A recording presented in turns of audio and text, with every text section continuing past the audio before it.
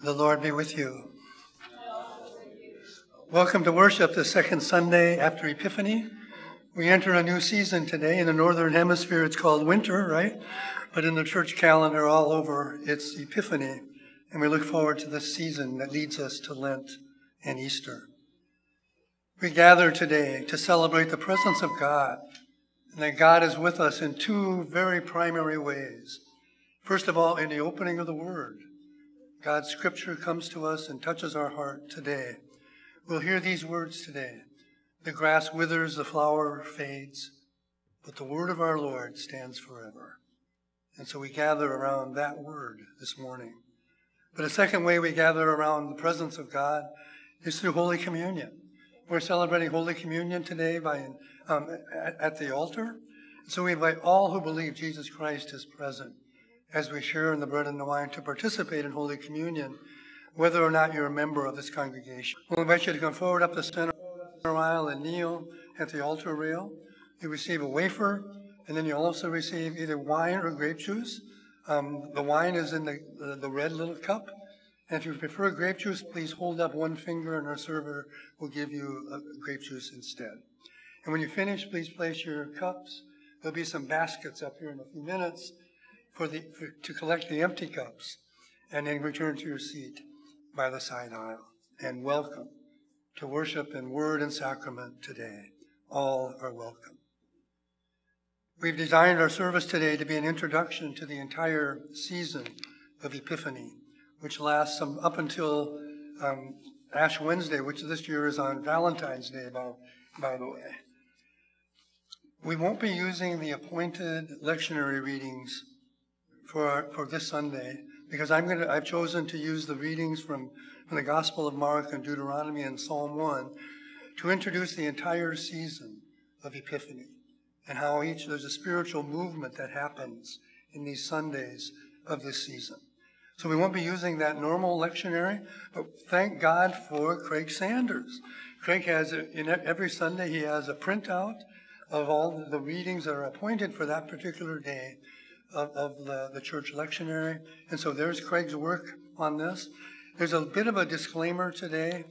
Um, in the printing process,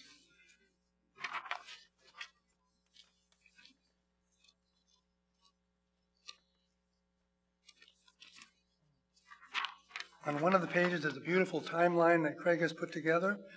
Um, he put some arrows in this to, to show you the different pieces of the timeline. And guess what? They didn't come through the printer. So this is a, a timeline with no indication of what, what each date is meaning. And so what you're going to have to do is have a personal conversation with Craig Sanders. If you'd like to do that today, or just wait till, till we're able to sp- spend more about that. But I wanted to, to put that disclaimer that that's where the dates come from. And then we do have our Bible study after worship today in the Upper Lakeside Room. And again, it will be designed to look at not just one Sunday, but look at the, the spiritual movement through the season of Epiphany. You don't have to have prepared to do that. You can share as you would like. And we're going to look at each of those texts and say what they mean to us during this season. So, welcome to worship today. Thank you to Joel Abenth for preaching and leading worship last week. Joyce and I had a wonderful time with our son Chris and his wife Chow in our annual trip to Miami. And it is warmer down there than it is here, especially. Just a couple things that are really important coming up forward. You see that, of course, the annual meeting of our congregation is on Sunday, February 4th, following worship that morning. Um, also, a very significant event is happening this week. Katie is going to New Orleans, and she's going there for her own continuing education, but also to help plan the National Youth Gathering, which will be in New Orleans next next summer. And you know, we've got a wonderful group already set to go and participate in that. So Katie will be gone this week to New Orleans. I'm doing that kind of preparation for our synod, for our congregation, and even for the for the ELCA. We have two special announcements today that are so special that I can't give them to you. Somebody else is going to have to share. And those two special people are Debbie Sanders first, and then Mark Munson. Please come forward for your announcements.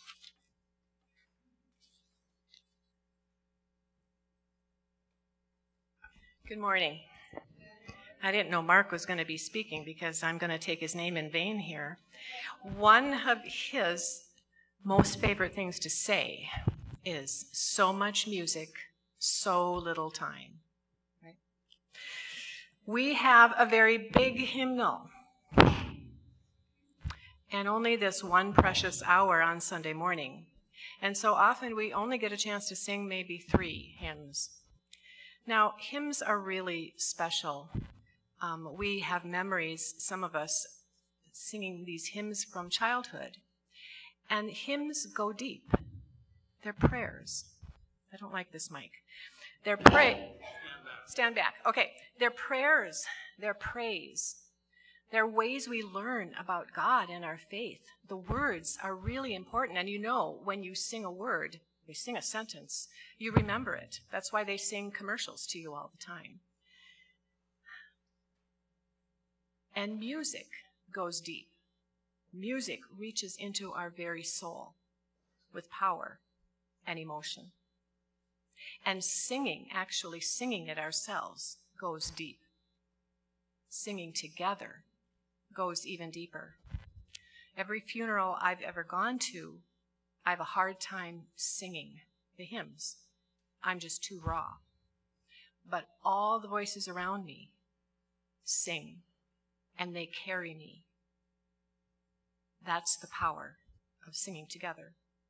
So, two weeks from today, on January 28th, we're going to take, we're going to come early and take some time and sing together some of our favorite hymns.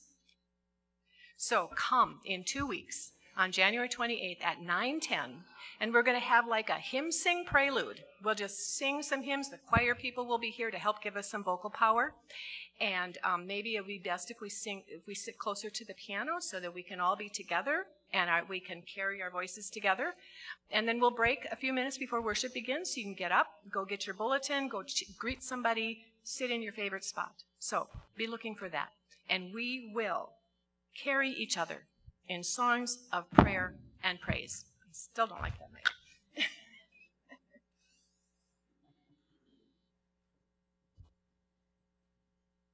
is very curious um, because um, the topic of what I wanted to say is quite uh, similar. Um, and um, I don't know what to call this. I just got this wild idea yesterday that I should say something today. it's life for grace is a ride. Um, I think this maybe is uh, could be called a temple talk, um, and uh, music is dominantly a spiritual endeavor and experience. Um, it enriches my spiritual life intensely and immensely. Music touches your spirit and drills to your core emotions how you experience music is very personal and very unique. It's different every time. It varies dramatically depending on how it's instrumented and how it's performed. Your response to music can't be dictated by others.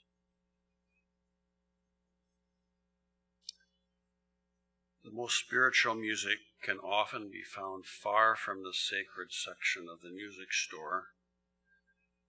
I have a list of things that I've had for years that I want to do before I die. Long, and I have had this list long before the movie. Um, many involve singing or playing. For example, um, Wolfgang Mozart's Requiem, Alexander Borodin's Polovtsian dances, Samuel Barber's Fanfare for the Common Man, Carl Orff's Carmina Burana, Done and Done. And I still have things on my list to do. I'm the president of the Duluth Symphony Orchestra, uh, Duluth Superior Symphony Orchestra. I've been the president for the past four years. I share my talents with the orchestra and the community because the gift uh, of, of what the gift of music gives. The uh, DSSO is per- performing Gustav Mahler's Third Symphony on Sunday. I want you to know about this opportunity to hear this powerful work. Mahler is an extraordinarily complex, spiritual, philosophical, deep genius composer. The Third Symphony is the biggest of the Mahler symphonies. It's the most uh, out of the ordinary symphony in proportion and design. It lasts an hour and 30 minutes and is so long you have to have an intermission after the first movement. It has a chorus and a contralto singer. The orchestra is so massive it's hard to fit on the stage. Listen to the instruments four flutes, two piccolos, four oboes, one English horn, three clarinets, one bass clarinet, two E flat clarinets, four bassoons, one contrabassoon, eight horns, four trumpets, one post horn, four trombones, tuba, contrabass tuba, timpani, glockenspiel, snare drum, triangle, tambourine, bass drum, cymbals, uh, tam tam, birch brush, two harps, as well as a large string section of violins, violas, cellos, and basses. There are also voices with a solo contralto, a children's chorus, and a women's chorus. And yes, Grace is singing in it. Mahler is all, um, when the orchestra musicians are asked what music they want to play, Mahler's always on the top. We can't perform Mahler every year because it's very difficult to stage and very demanding. It requires a large hall, a huge payroll, bigger than life logistics. Yet, if we don't perform Mahler, our audience and especially our musicians are cheated. Our conductor, Dirk Meyer, has been dreaming and planning this performance for years. Then his sister died two weeks before the concert. What to do? It's too emotional a piece so close to her death, yet too emotional a piece to miss. We could not find a substitute conductor to do such a symphony on short notice because it takes so much preparation. So, we postponed the concert and the concert is Saturday. The symphony has six movements. The first part is called Pan Awakens, Summer Comes Marching. The second part of the symphony has five movements. What the flowers in the meadow tell me, what the animals in the forest tell me, what humanity tells me, what the angels tell me, what love tells me. That that's not your kind of ordinary symphony, is it? Um, the fourth movement, what humanity tells me. The contralto sings using powerful lyrics from a poem by the great 19th century German philosopher Friedrich Nietzsche. And the text is this poem says, O man, take heed. What does deep midnight's voice declare? I slept, I slept. I've woken from a sleep most deep and deeper than the day can grasp. Deep, deep is its pain. Joy still joy deeper still than heartfelt pain. Pain says, Be gone. But all joy seeks eternity, seeks deep, deep eternity. Um, the fifth movement, what the angels tell me. Here, the, the, the women's chorus and the children's chorus hold, hold a dialogue with the contralto uh, who represents humans. And, and Mahler used a German folk poem called The Boy's Magic Horn. And the angels say, three angels were singing. the angels are the women's chorus, of course. It has to be the women. The angels were singing a sweet song with joy. It resounded blissfully in heaven. At the same time, they happily shouted with joy that Peter was absolved from sin. For as, as Lord Jesus sat at the table eating supper with his twelve apostles, so spoke the Lord Jesus Why are you standing here? When I look at you, you weep. And the contralto sings, And how should I not weep, you kind God? And the angels say, No, you mustn't weep. And the contralto comes back and says, I have trespassed against the Ten Commandments.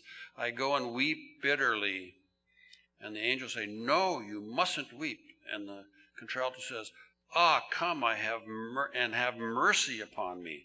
And the angels say, If you have trespassed against the Ten Commandments, then fall on your knees and pray to God. Only love God forever, and you will attain heavenly joy. Heavenly joy is a blessed city, heavenly joy that has no end.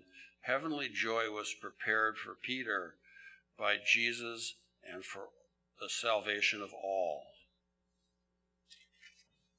And then the sixth movement is what love tells me. And interestingly, um, after the earlier keys in the symphony for the past hour of tension, he resolves into the peaceful key of D major. He also changes to a soft adagio. An adagio is, a, is the slowest tempo that you can play. And he completes the last movement. so what love tells, what love tells me, he changes it to a peaceful key and he and he does it sweet and soft and no words. Mahler turns it upside down because most symphonies end loud and fast. Here we have just music for the emotion of love. When the last note stops rever- reverberating in the hall, the audience is silent and frozen. We made it easy for you so you can get your tickets online. Do go and hear this, and your soul will be moved. And I hope you won't miss this opportunity.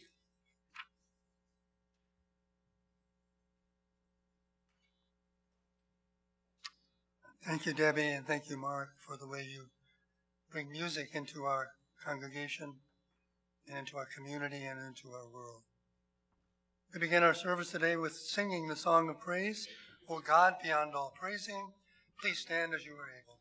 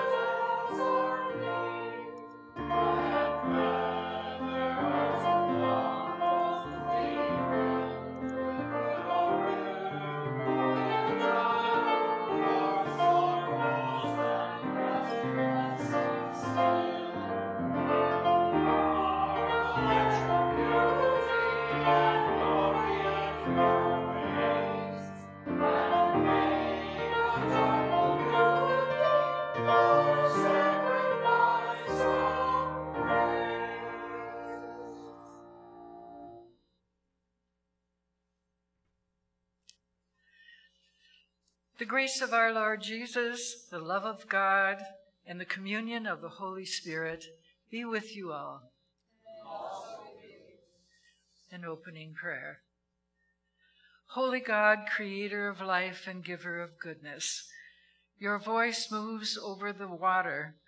Immense us, immerse us in your grace, and transform us by your Spirit, that we may follow after your Son Jesus Christ, our Savior and Lord. He lives and reigns with the Holy Spirit, one God, now and forever. Amen. Please be seated. It is now time for the children's sermon. I'd like to invite all children to please come forward.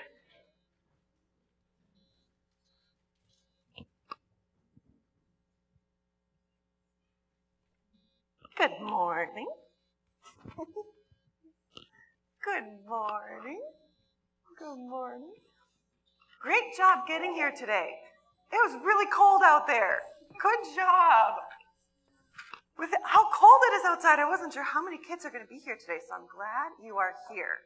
Because we are about to hear a Bible story, and it is a Bible story that talks about kids. It is a Bible story that talks about kids. And in fact, it talks about how we as the adults talk about God and talk about faith to kids.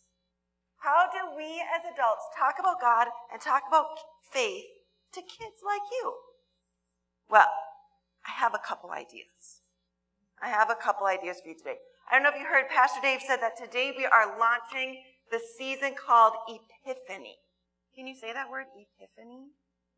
That is very much a church word that you're probably not going to hear anywhere else. But it basically means we're in this season where it is still winter, but it's not Christmas anymore. It's different than Christmas. And if you go back into the children's chapel today, you will see all the Christmas stuff is pretty much gone. But in its place are little things to help you learn about. There are stars that you can color in and hang up for us to see. There's a cool art project with chalk and black paper. And so we are now learning about the season called Epiphany. So I got a couple things for you today.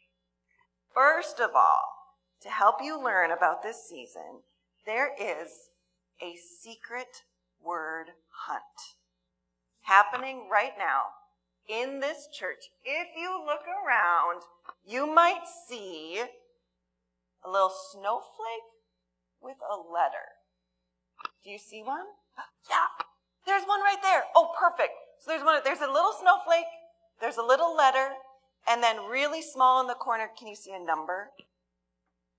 What number is it? One. So that right there, that is the first letter in the secret word. Now, older kids, you can find all the letters and then kind of do a word scramble and see if you can figure out the word on yourself by yourself. Younger kids, I've got this in the back called Secret Word Search that'll help you put the letters in order. So you can find the secret word. It has to do with Epiphany. And then the answers in the back, there is a cool envelope that says answer inside. So you can read about, double check your work and read about the word. So this is happening today. Uh, you can, if you promise to sneak around quietly, you can do it during worship today or after worship when your when your parents are drinking coffee and you're feeling a little bored. You can also come back here and do the secret word search. So that is happening to celebrate the season of Epiphany. And we have Sunday school to go bags today. They are out there in the front. This is for you to take home. And again, this connects back to that Bible story I was telling you about. Because in the Bible story, we hear we should be talking about God and talking about our faith. Of course, we do that at church, right? And we should talk about God and talk about faith when we are at home. We should talk about God and talk about faith everywhere we go. And so this is a little bag that you can, it's to go. It's, n- I mean, I guess if you really, really wanted to, you can open it here. But my goal is that you're going to take this with you where you go. So maybe you'll take it back to your house. Maybe you'll take it to grandma and grandpa's house. But this is a to go bag. And what's really cool is you're going to learn about stars, which is another epiphany thing. So it's all kind of connected today. Lots of things for you to do to learn about God, learn about faith, and learn about this season of Epiphany, where it's still kind of winter, it's still kind of dark. It's not Christmas anymore. We're doing something new. So, today you can work on the secret word search. Make sure you take home a to go bag and make sure you check out the Epiphany things going on in the Children's Chapel today, okay? But before you go, can we say a prayer? Fold your hands and repeat after me. Dear God, help us learn about you. Help us talk about God and talk about faith everywhere we go. Amen. All right, you can go back to your seats.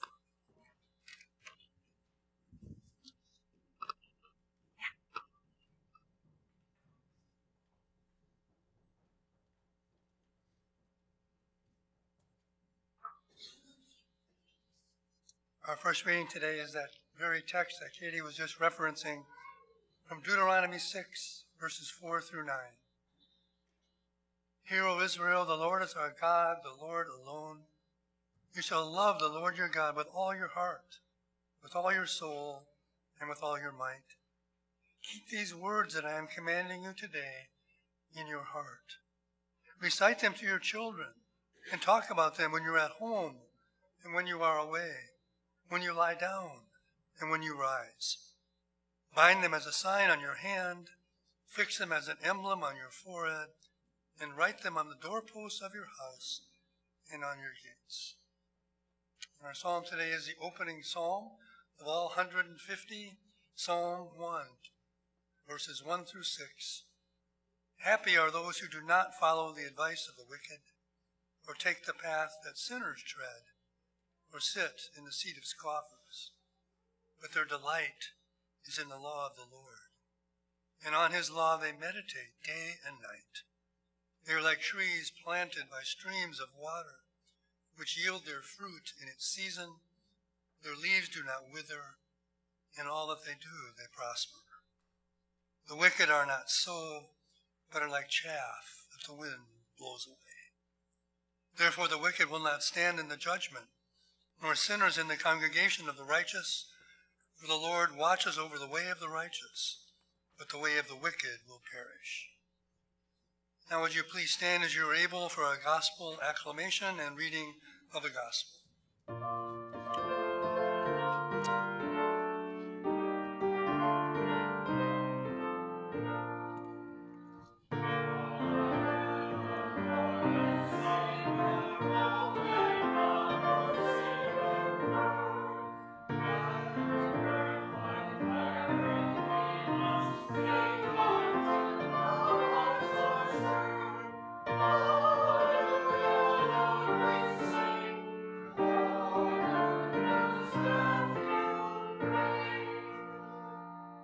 Gospel today is the opening of the first gospel, the Gospel of Mark, chapter 1, verses 1 through 11.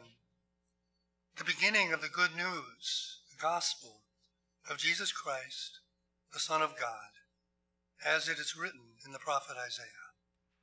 See, I am sending my messenger ahead of you who will prepare your way. The voice of one crying out in the wilderness, Prepare the way of the Lord, make his paths straight. John the Baptizer appeared in the wilderness, proclaiming a baptism of repentance for the forgiveness of sins. And people from the whole Judean countryside and all the people of Jerusalem were going out to him and were baptized by him in the river Jordan, confessing their sins. Now John was clothed with camel's hair, with a leather belt around his waist. He ate locusts and wild honey.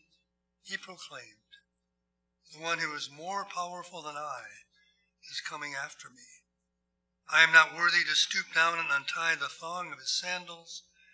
I have baptized you with water, but he will baptize you with the Holy Spirit. In those days, Jesus came from Nazareth of Galilee and was baptized by John in the Jordan.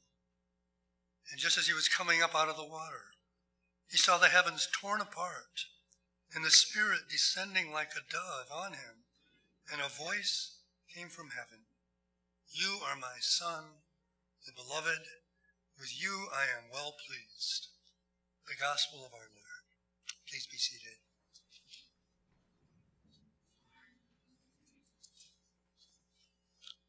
The Gospel, the good news of Mark, goes all the way back to the beginning to tell the story of what the good news is. Goes back to Isaiah, six centuries before the Common Era and looks at what good news looks like in a setting of exile and imprisonment. Goes back to the life and the words of Jesus himself and brings those into the, the people in his community to catch them up on that gospel. And then, in the words of the Gospel of Mark, that whole package, all of that good news comes to us today. God's Word, the Holy Spirit, coming to Jesus, coming to us today. And so we begin with that affirmation God is with us. In the living Christ, carried by Word and Spirit into our hearts today. The first verse and a half are actually the title of the Gospel of Mark, the beginning of the Gospel of Jesus Christ, the Son of God, as it is written in the prophet Isaiah. Mark goes back to Isaiah and tells the story of people in imprisonment, in exile in Babylon, after having been there for 40 years. No temple, no king, no nation. Where is God? when you're in prison in a foreign country. And Isaiah's answer is comfort, comfort my people. Here is your God. And where? He says, the grass withers, the flower fades, but the word of our God stands forever. And so Isaiah is telling his nation in prison that even though they can't worship in their worship space or live in their country, God is with them whenever God's word is there. And then as Isaiah tells that story, he broadens it.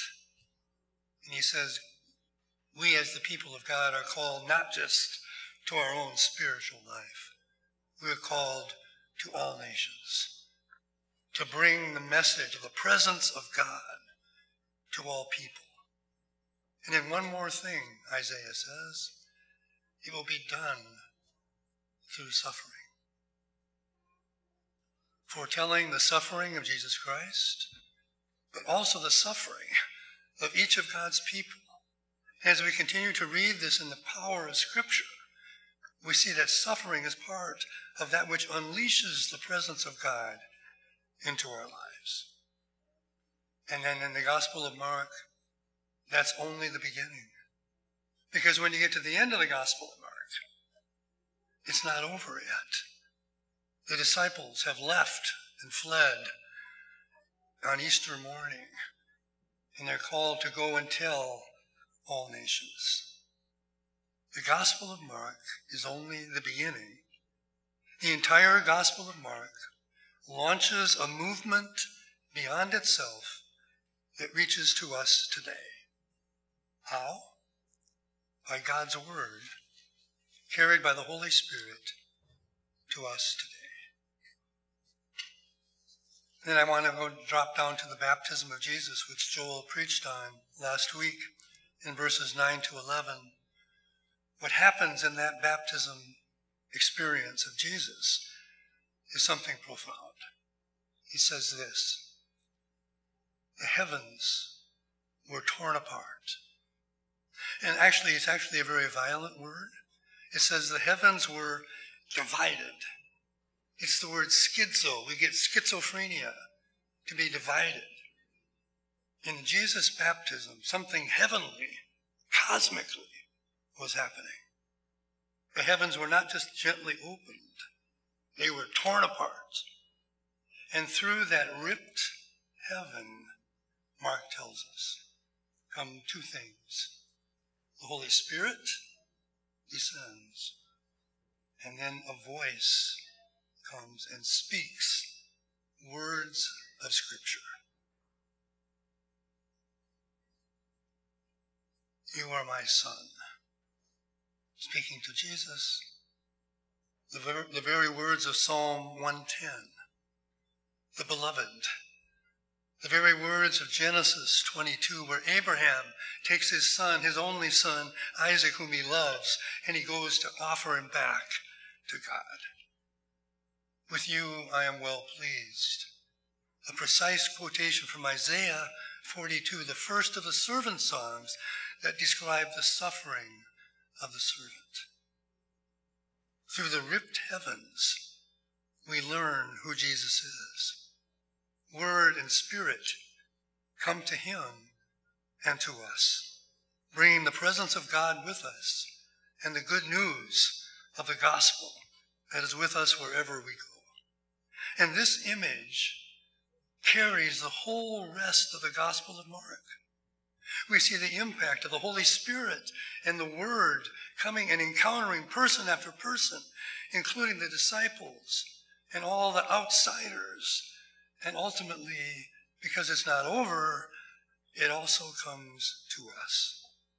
And so the question for us today, on this Sunday in Epiphany, is that still happening?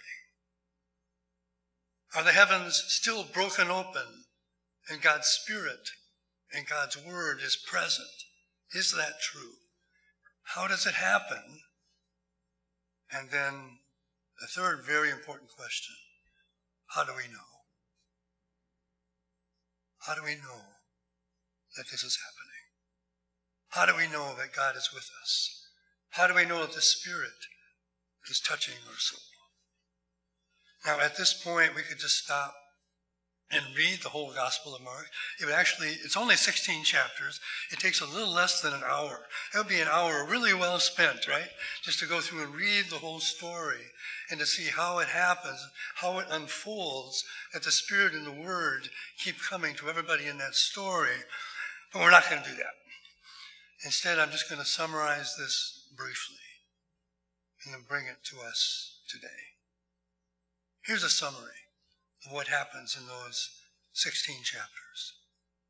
Jesus begins on a journey to Jerusalem. And the reason he's going to Jerusalem is to die and to rise again. From the very beginning, that's who he is. And on the way, he calls disciples to go with him.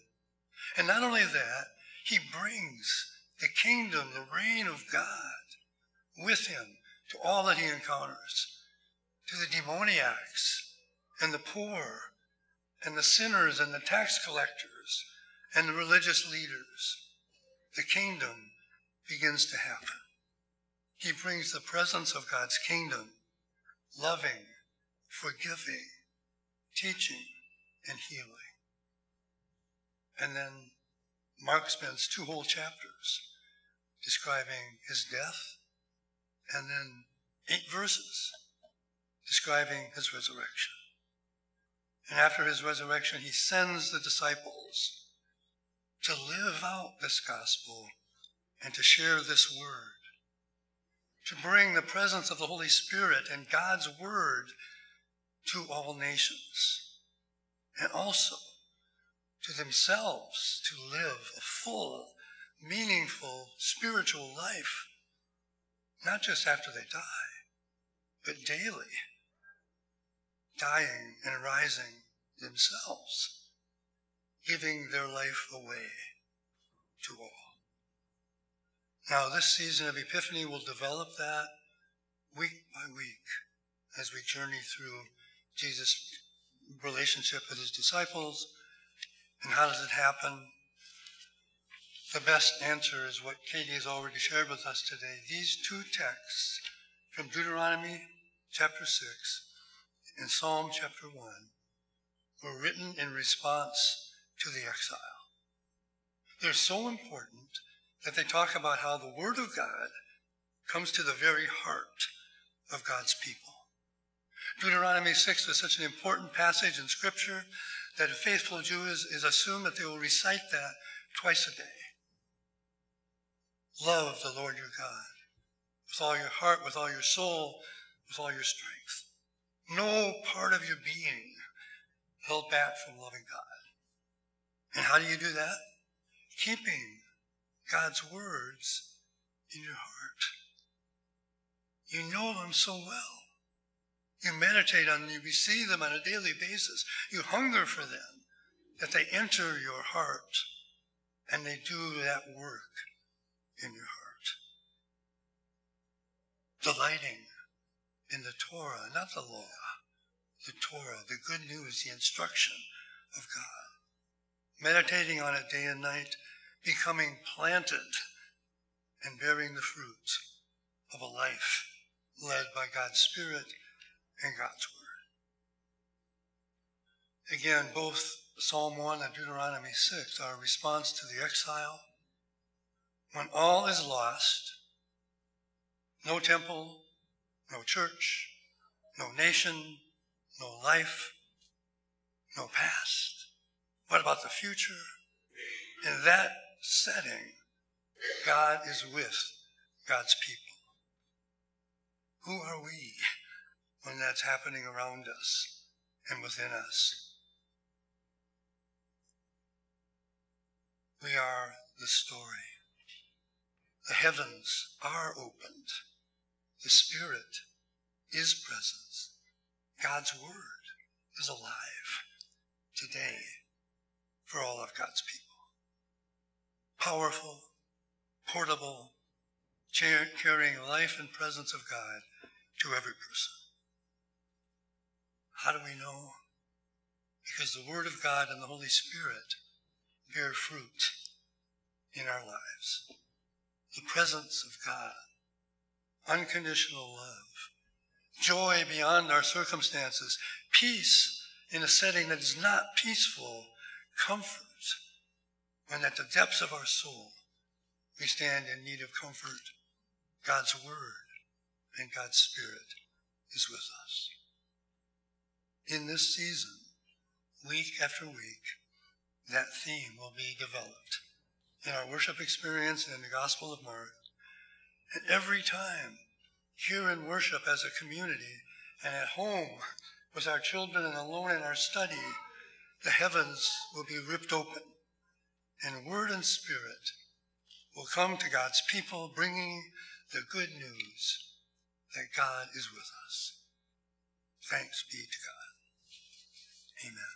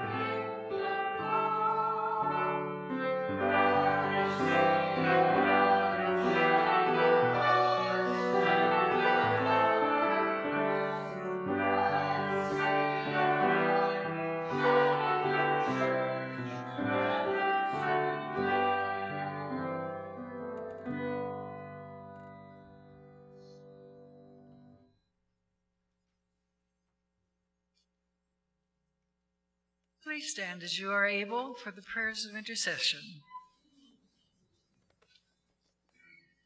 The response to the uh, intercession, God of grace, the response is receive our prayer.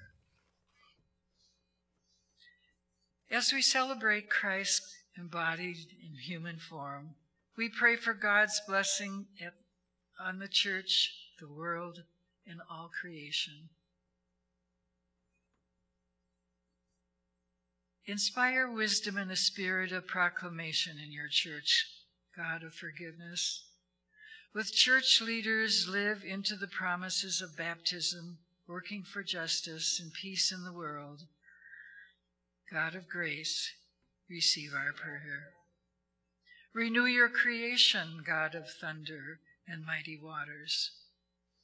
Restore the rivers in which your children are baptized May fields flourish and grow. Summon the stewards and caretakers of the land to cherish your good works. God of grace, receive our prayer. Give strength to your leaders, God, who is present in every country and community. Raise up leaders committed to equity and healing. Grant them discernment and compassion as they lead in love. God of grace, receive our prayer. Protect and cherish the most vulnerable among us, O God of strength. Accompany those separated from family or hurting from broken relationships. Shelter and our unhoused neighbors and any experiencing poverty protect those incarcerated in prison and retention centers, care for the sick and suffering. God of grace, receive our prayer. Encourage this congregation, God, who calls and sends disciples. Guide us in accompanying, learning from them, and serving our neighbors on the margins following the example of Jesus.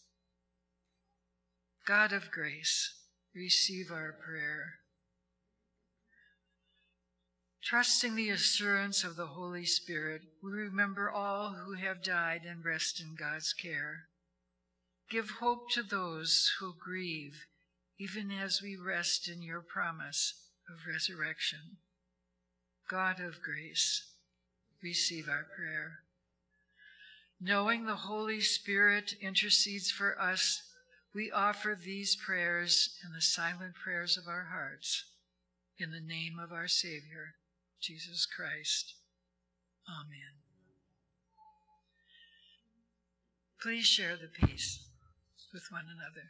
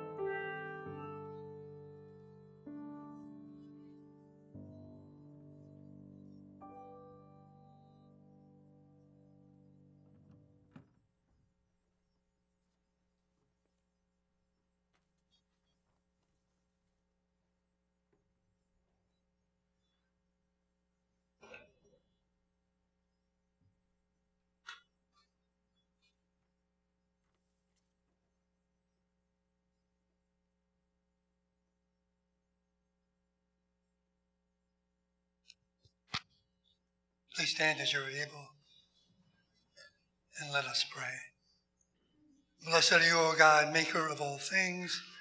Through your goodness, you have blessed us with these gifts, ourselves, our time, and our possessions.